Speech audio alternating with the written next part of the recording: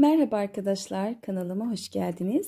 Bugün sizlerle çok cici bir mamut öreceğiz. Bakın. Şimdi e, malzemeleri göstereceğim size. Ondan sonra örmeye başlayacağız. E, aynı iplerden elimde yoktu. Siz de elinizde bulunan iplerden kullanabilirsiniz. E, aynı renk tonu e, maalesef yoktu. Bu kullandığım ip e, örse kadife diye geçiyor arkadaşlar. Bu da etrofil yonca kadifesi. Yalnız açık sütlü kahvesi, örse kadife, iç kulak renginde de e, Lanoso kullandım arkadaşlar. Lanoso Hera kadife bu da.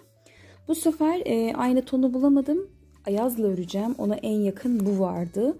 Başka yoktu. Bakın aradaki farkı size şöyle göstermek için yan yana koyuyorum. Bakın bu daha açık, bu biraz daha koyu e, ama başka bir alternatif olmadığınca e, beraber örebilmek için ayazı seçtim sizler için. Malzemelerimizi sayalım. 2 adet e, açık renk kadife ipimiz olacak. Yani siz hangisini isterseniz. Ben artık bakın renk biraz farklı ama e, idare edeceğiz. Yine e, etrofilin kahverengisini aldım. E, fakat e, siz böyle biraz daha kiremit rengine yakın veya e, daha farklı bir kahve bulabilirseniz onunla da yapabilirsiniz. Onunla da çok güzel oluyor kiremit rengine yakın. Ben bunları e, 4 milim tığla öreceğim. E, çünkü e, kadife ip çok e, esneyen bir ip biliyorsunuz. Ve daha bol örüldüğü zaman e, içine elyafı doldurdukça şişiyor. O yüzden ne kadar sıkı olursa benim için o kadar iyi bakın. Benim oyuncaklarım böyle bastırınca çok esnemeyecek. Hafiften esnemesi yeterli bu kadifelerde dahil. Şu şekilde miliminden tam emin değilim. 18 milim olabilir diye tahmin ediyorum. 18 milim gözlerimiz var vidalı. Bunların da renk tonu çok güzel ve Pedahobby'nin elinde şu an mevcut diyebiliyorum. Ondan Instagram'dan alabilirsiniz bu gözleri. Bakın nasıl yakıştı ama. Çok derinlik veren böyle bir derinliği var gözün. Böyle takınca çok tatlış oluyor. Bu renklendirmeyi de birlikte yapacağız. Evet iplerimize devam ediyoruz. 2 adet açık renk kah, sütlü kahve, bir tane koyu kahve. Siz bunu mesela pembeli falan mesela fili pembe yaparsınız. İşte üzerine e, koyu pembe yaparsınız. Evinizde bulunan renklerden yapabilirsiniz. Bu da Hera kadife arkadaşlar. E, Hera kadife bunlara göre biraz daha ince. Ama ben ipleri birbirleriyle buluşturmayı çok seviyorum. Mesela ince ile kalın ipi de aynı anda örebiliyorum. Bunu benimle birlikte sizler de öğrenmiş olacaksınız. Bu arada e, filimizin hortumu azıcık uzun geldi. O yüzden bunu sökeceğim. Şuradan birkaç sırayı eksik yapıp tekrar dikeceğim. Onu şimdi örerken beraber eksik öreceğiz. E, iplerimiz bu kadar. 3 adet ipe ihtiyacımız var. 1 adet şöyle göze ihtiyacımız var vidalı. E, buruna yerleştirmek için şöyle şunil bunu bantlayacağım içine yerleştirmeden önce uç kısımlarını da şu hareketliliği e, sağlayabilmesi açısından elyaf e, olacak iç elyafımız olacak içinde. Bir de ben e, bunun için ayak tabanlarına e, şöyle göstereyim var mı bakayım yakınında.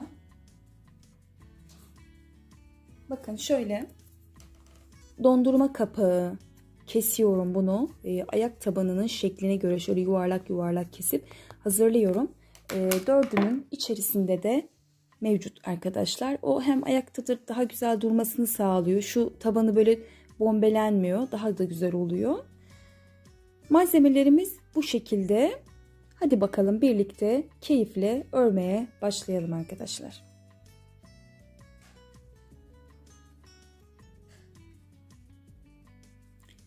Evet şimdi ipimizi 8 sık iğne ile başlayacağım. Şimdi normalde sihirli halka yaparak başlıyoruz. Fakat bu ipleri sihirli halka ile örmek zor. O yüzden ipi biraz şöyle ileriden bırakırsanız böyle çabuk hızlı kopabilen bir ip bu.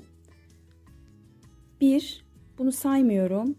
1 2 3 zincir çekiyorum arkadaşlar. Bunu e, sökülme riskine karşı yapıyorum. 2 zincir çeken de var ama bence 3 zincir en sağlam oluyor. Şimdi ikincisinin içerisinden başlayarak 8 adet sıkı iğne yapıyorum bunun içine. 1 2 3 kameramda sallandı bu arada. 3 4 5 6 7 ve 8 sadece ilk ilmeğimizde biliyorsunuz şu diğerinin içerisine ilmek kaydırma yapacağım ama sonrasında yuvarlak olarak öreceğim. Bakın normal sıkı bir sihirli halkamız oldu. Şöyle odaklama yapayım.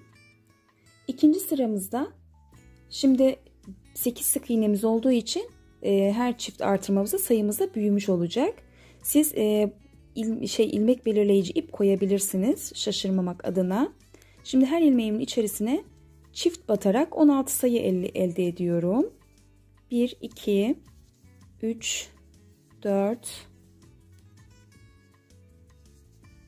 5 6 7 8 9 10 11 12 14 şöyle 15 ve 16 bu arada lüks örse kadifeden biraz daha kalınmış ayaz. Örerken fark ettim şimdi. Şimdi üçüncü sıramızdayız arkadaşlar. Ee, bir sık iğne biri artır yine hani önceki gibi. Yani önceki sıralarımızdaki gibi ama 8 ilmekle başladığımız için biraz sayılarımız büyümüş oluyor. Bir tek bir çift bir tek bir çift sıra sonuna kadar. Toplamda 24 sık iğnemiz olacak. Bir tek bir çift.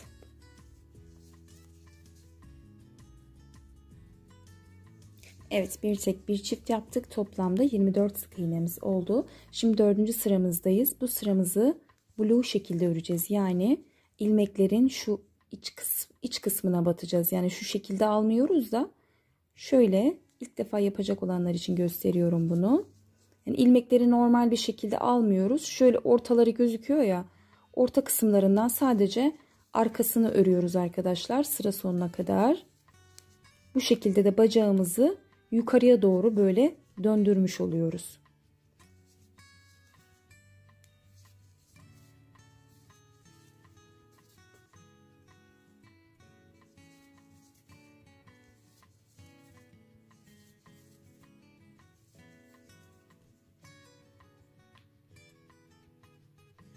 Blue'umuzu bitirdik dördüncü sıramızı.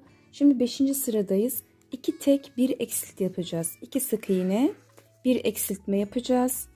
Ee, toplamda 18 sık iğnemiz olmuş olacak. İki tek. Yine eksiltmelerimiz normal ipte nasıl eksiltme yapıyorsak şöyle ön ilmeklerimizi alıyoruz. Bu şekilde eksiltiyoruz. 1 2 2 tek bir eksilt sıra sonuna kadar.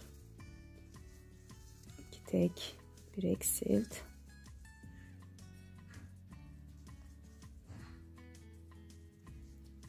Altı ve yedinci sıramızı hiç artırma eksiltme yapmadan birebir 18 sık iğne olarak örüyorum. 2 3 4 5. Bu arada e, bu markayı çok sevmedim. Örümü biraz sert geldi bana. E, mesela bunun ipi örse kadife çok daha bir yumuşak ve kaygan bir ip. Öyle. Evet arkadaşlar 6 ve 7. sıramızı 18 sık iğne olarak ördük. Şimdi 8. sıramızda 5 tane tek yapıyorum. Yani 5 sık iğne yapıyorum. 1, 2, 3, 4 ve 5. Şimdi 4 kez eksiltme yapacağım. Yani 4 kez ard arda şu öndeki hafif çukurluğu verebilmek için bir şöyle iki Nasıl ilmekleri göremiyorum. 2 3 son olarak Dördüncüyü de eksiltiyorum. Kalan 5 sık iğnemi örüyorum. 1, 2, 3, 4 ve 5. 8. sıramızı bitirdik. 14 sık iğnemiz oldu. Mutlaka siz ip kullanın yani ilmek belirleyici kullanın burada. Ee, şaşırabilirsiniz. Şimdi 9. sıramızda 5 sık iğne örüyorum. Yine 5 tek örüyorum. 3, 4 ve 5. Yine 4 kez eksiltme yapıyorum. Ee, pardon bu sırada artırma yapıyorum. Bir öncekinde eksiltme yaptım. Çukur oluşturdum. Şimdi artırma yapıyorum. Aynı yerde yani 5 tek yaptım. 4 kez yine artırıyorum. Eksilttiğim yerde. Şöyle 3, şöyle 4. Kendi yazdığımı bile okuyamadım bir an. 1, 2, 3, 4 ve 5 kalan sık iğnemi örüyorum. Şimdi tekrar söyleyeyim arkadaşlar e, bir yanlışlık olmasın orada. 8. E, sıramızda 5 sık iğne 4 kez üst üste eksiltme yaptık. Sonrasında 5 sık iğnemizi ördük. Toplamda 14 sık iğnemiz oldu. 9. sıramızda yine 5 sık iğne ördük. Bu eksilttiğimiz yerde 4 tane artırma yaptık. Ardarda arda ve kalan 5 sık iğnemizi ördük. Yine toplamda 18. sık iğneye çıkmış olduk. Bu aşamada şu şekilde tabana göre bir plastik kesip yerleştirelim iç kısmına. El yapı en son dolduracağız içine. Tabanımız böyle düz olacak çünkü. Şimdi iki sıra 18 sık iğne hiç e, artırmadan eksiltmeden öreceğim. 10 ve 11. sıramız 18 sık iğne olmuş olacak.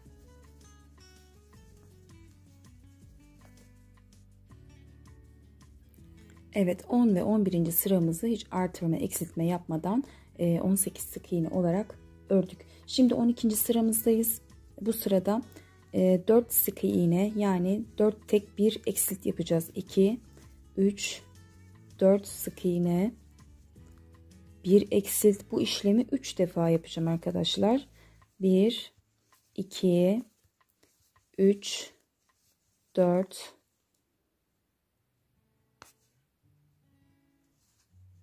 Biraz sıkı da örüyorum ben. E, ondan zorlanıyorum.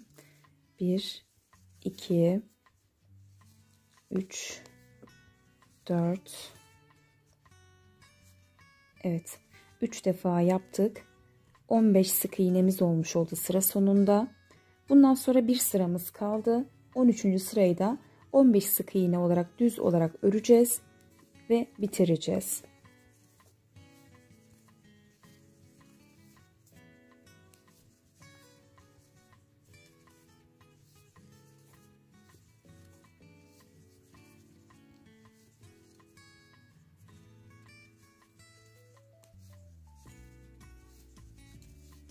Evet 15 sık iğne olarak ördüm.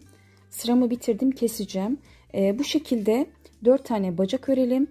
Dördüncü bacakta ipimizi kesmeden bekleyelim arkadaşlar. Ondan sonra karın kısmı zaten bakın ee, şu şekilde. Onu da göstereyim. Bakın. Bacakları birbirine ekleyip böyle patik altı gibi düz bir şekilde öreceğiz. Daha sonra arka bacakları ekleyip onların etrafından dönerek ön bacakların tekrar önünü öreceğiz. Ve o şekilde ilerleme yapacağız inşallah. Bakın bu şekilde karın kısmımız. Herkese kolay gelsin. Ee, herkes bacakları örsün. Daha sonra gövdemize geçiş yapacağız arkadaşlar.